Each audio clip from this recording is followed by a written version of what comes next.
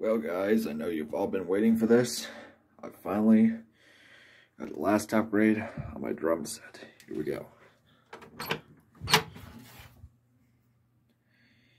Oh my goodness. Shut the door. Here it is. This is the Pearl Maxwin kit. It's in a wine red finish. It's all set up. Got the Remo color tone heads. Now I'm going to show you some of the new cymbals I added. This is the Wuhan, China.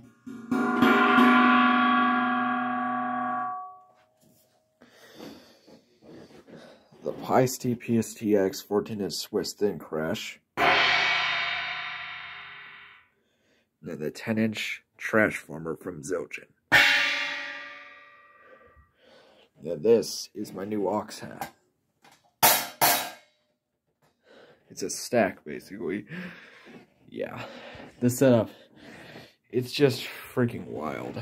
So, I will show you some sick drum content on my new kit when I get the chance. I can't film drum content tomorrow because tomorrow is Christmas Day and I'm going over to my grandmother's house for dinner. So, there's that.